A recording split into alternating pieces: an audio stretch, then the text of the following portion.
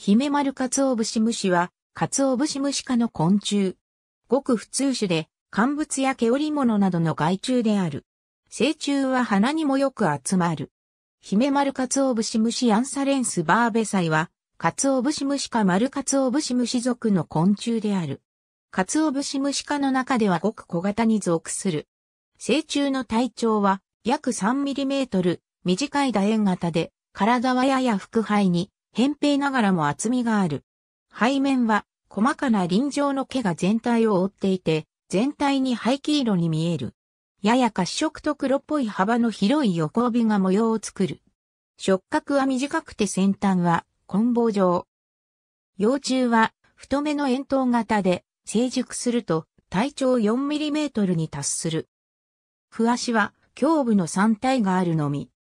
ごく短くて体の下に収まる。各体節に多数の立った毛が密生している。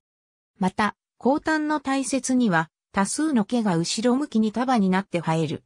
これらの特徴は、カツオブシムシ類全般に共通するが、この種では特に太めに見える。幼虫なお、微端の毛束の毛は、槍状毛と言われ、防御の役割があるとされる。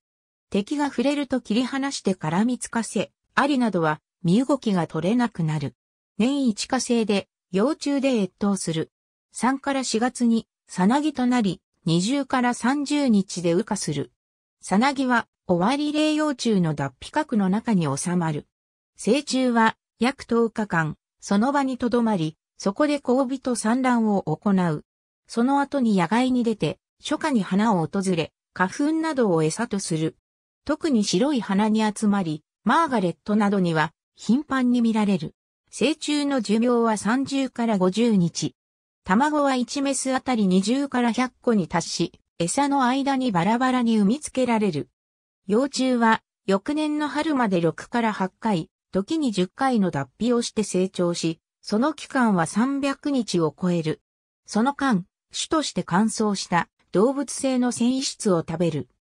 本種と同様に、接触前に産卵する習性を持つ、ヒメカツオブシムシデの観察では、羽化後に産卵を済ませていなくても日数が経つと、走行性が変わって野外に出て、一度野外に出てから屋内に入っての産卵も確認されていない。また、成虫に餌を与えてからの方が産卵数が増している。以上からヒメカツオブシムシとヒメマルカツオブシムシが接触前に産卵する習性は元から持っていたものではなく、幼虫の餌が得やすい人家に住むようになってから得られたものだと考えられている。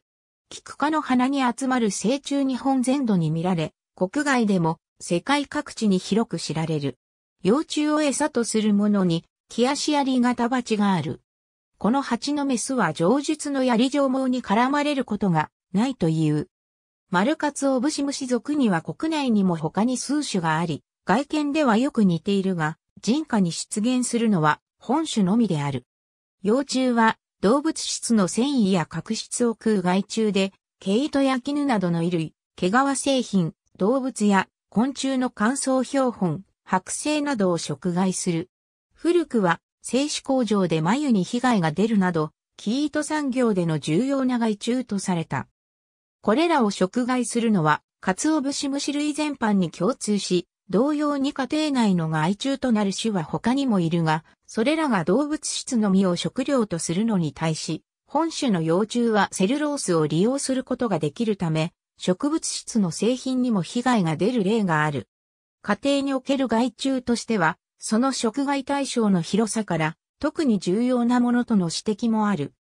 安富、梅谷、P19、安富、梅谷、P15、安富、梅谷、P18、安富、梅谷、P19、安富、梅谷、P19。